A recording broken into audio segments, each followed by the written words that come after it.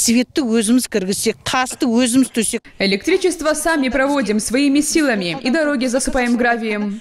О селе Таскишу в Сайрамском районе районная администрация, кажется, давно забыла. Много лет люди не могут добиться ни нормального электроснабжения, ни общественного транспорта. Ужас наводят и разбитые дороги. Вот и приходится сельчанам зарабатывать не только на продукты, но и на благоустройство за свой счет.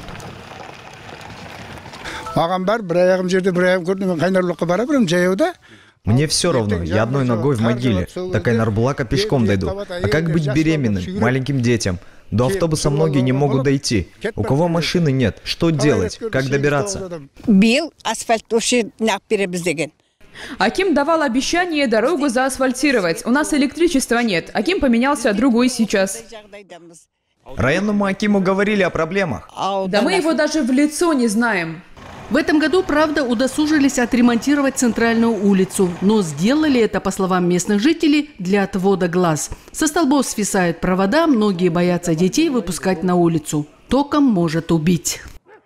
жүріңіздер сол көргенмін деп отырмын мен саған жүр көрген жоқсыз сіз ой ешқандай да жүр Аким сельского округа просит людей запастись терпением. Денег сейчас не то что на асфальтирование, даже на гравийную дорогу нет.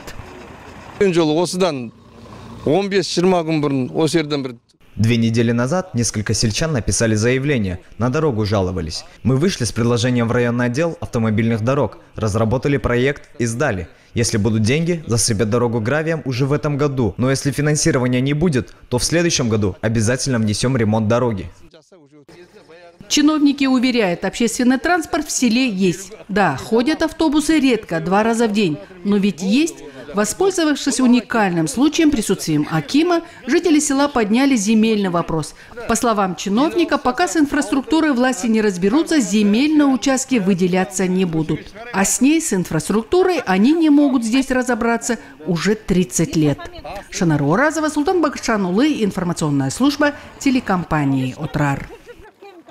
орынға аласыз көрсетудің қажеті жоқ.